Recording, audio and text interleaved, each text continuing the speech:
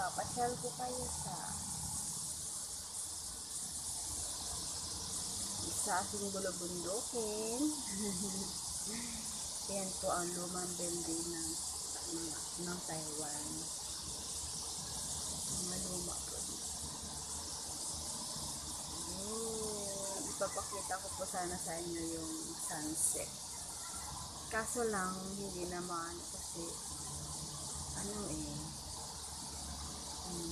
itago na yung parang maano siya, parang uh, makulimlim na. Ngayon sana yung ganda ng ano ng sunset kaso lang nagtago agad o doon. Nagtago na siya agad. Yan po ako pagka umaga. Pumupunta po ako dyan. Ganda po. Yun, doon. Yan. Ay, maibon pa, oh. Ko. Diba? Sarap. Oo, yun po ang mga, ang baba ng building ng lola ko.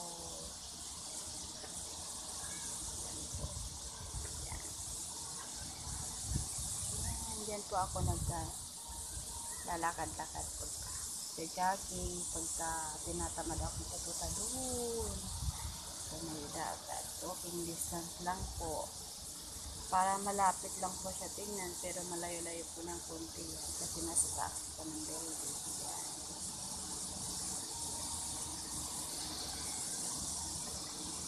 At pag tinatamad po ako, dito lang po ako naglalakad. Nagtatakbo dyan sa may baba, baba namin. Nasa fourth floor po kami. Ayan. Ayan po.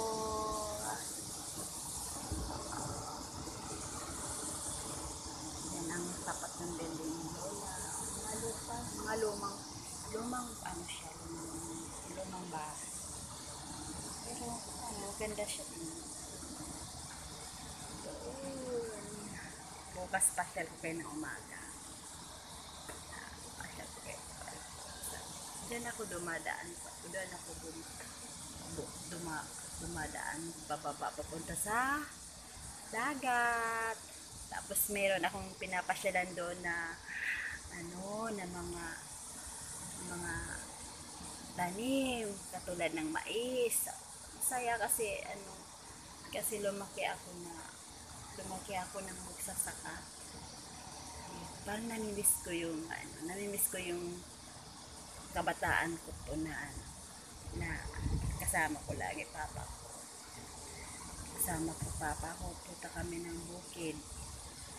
Tayo ng ano namin, ng maisa namin, tapos palayan. Mga, naku po, mga inday. Namimiss ko talaga yun. Oh, yan ako. Kaya bukas promise. Bukas na umaga, ipapasyal ko kayo.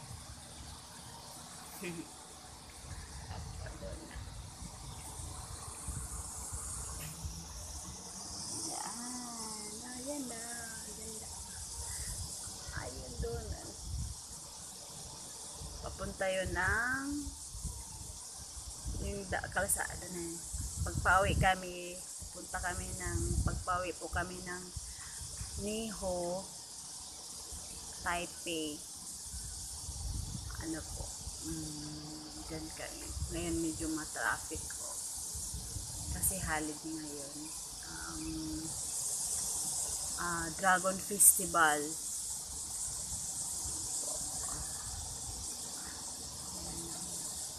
Ang sarap dito ng pakiramdam kasi parang nakakatanggal ng stress. Mas lalo na pag yung laki ka ng ano, laki ka ng probinsya. Ayun, ma ang sarap talaga sa pakiramdam. Ayun. Ayun, mga inday. Ayun. mga miga.